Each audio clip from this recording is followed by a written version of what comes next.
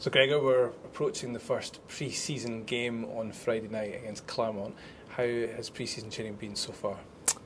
It's been uh, enjoyable, I believe, for both coaches and players. Certainly, the, the coaches have enjoyed it. Enjoyed seeing the work the players are putting in, the improvements they're making. It's been tough, really hard um, physical demands, uh, mental demands as well. Uh, we, the aim was to stress the players playing at a pace um, and making sure they were making decisions all the time. So when it came to the proper games, they, they should be in control of um, their actions and fit enough to, to execute what they want to execute. But um, no, this, it's been it's been hard work over these last six weeks. Talk about the number of weeks of hard work that you, mm. the guys have put in. How happy are you to be approaching the games now? And I'm sure the guys are probably a bit relieved to be have games now to concentrate on.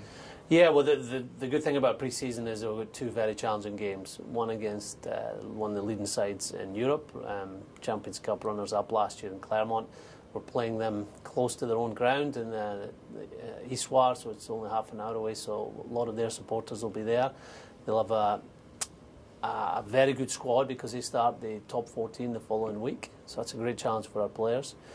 Two weeks after that, we, we go to Canada to play an international side, the first time I think I believe in the club's history. So uh, again, playing away from home, so that, that puts us in, a, um, in a, an environment we're not familiar with, uh, stresses our players. So I believe it'll it'll improve us. Um, so it's it's an exciting time playing those those two teams.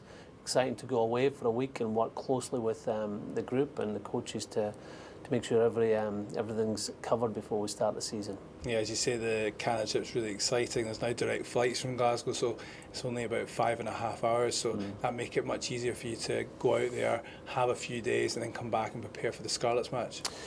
Yes, it does. It's it's a challenge um, going away from home, um, especially uh, to a different uh, country. Um, but it's it's something that we, we have to get used to. We're playing Champions Cup um, games in France and England and Wales. We play in our league, Wales, Ireland and, and Italy every uh, second week. So some of the players have to get used to how to get the recovery, how to see a different environment and make sure we impose our game on the opposition.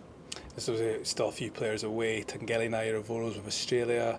Greg Peterson has been in last week. He's away with USA. It'll be good to get everyone back probably over the next few months and then it, I guess the, the squad changes again a little bit. Yeah, it, it will. I think if you if you put, put the um, the squad that are here and the squad that are away with um, World Cup camps would be would be maybe over 60 players. But obviously some players are only in for for the World Cup period. But uh, it's been great watching how Greg is, is getting match fitness playing for the USA. They, they had a very good win uh, over Canada um, last week. Uh, Leone with Fiji has been on fire. Um, four four tries against Samoa in the two games against Samoa, which is which is amazing. Uh, and then we've got Taqele who's working hard um, with the Australian squad. Possibly will be selected for them, but uh, if he doesn't make that the World Cup squad, then we, we're looking forward to him joining us.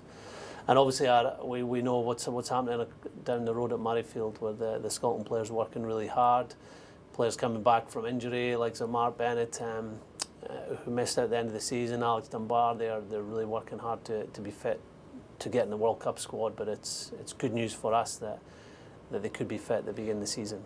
And just finally, season tickets are selling really well. We're over 4,000.